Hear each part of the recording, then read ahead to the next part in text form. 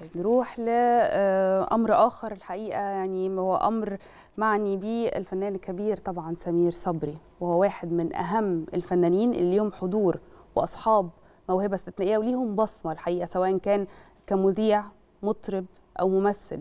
هو قدر موهبة قدرت فعلا إنها تثبت نفسها في كل المجالات. عشان كده دائما النقاد بيطلقوا عليه لقب الفنان الشامل. الفنان سمير صبري للأسف تعرض لوعكة صحية وهو موجود دلوقتي في المستشفى لإجراء جراحة دقيقة. صدرت توجيهات رئاسية بعلاجه على نفقة الدولة. خلينا نتابع هذا التقرير ونرجع لحضراتكم على طول.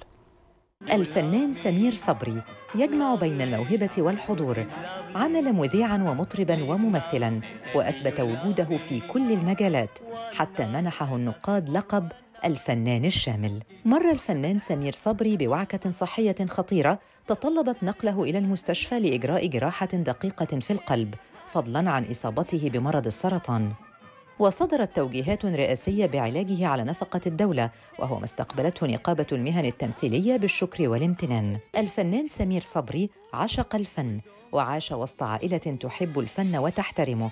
فعائلته هم من شكلوا طفولته وصنعوا شخصيته واصطحبوه إلى دور السينما والمسرح وشجعوه عندما وقف أمامهم يقلد الفنانين. ولد سمير صبري في مدينة الإسكندرية عام 1936 وتبناه العندليب عبد الحليم حافظ بعدما انفصل والده ووالدته وذهب إلى القاهرة وهو في عمر تسع سنوات.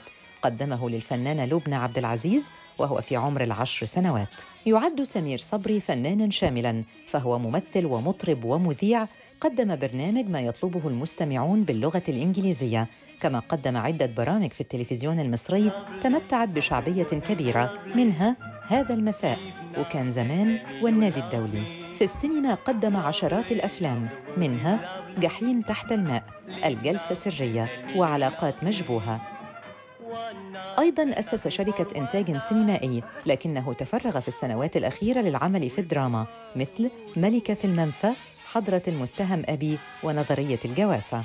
يعد الفنان سمير صبري واحداً من أهم الفنانين في تاريخ السينما المصرية.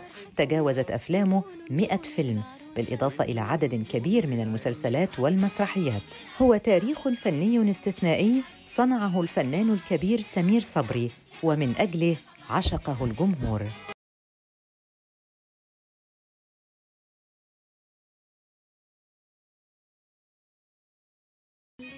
الحقيقة قرار في منتهى الأهمية. إحنا بنتمنى للموهبة الشاملة زي ما قلت يا جمانه الصحة والعافية وإن شاء الله يرجع لنا بألف سلامة.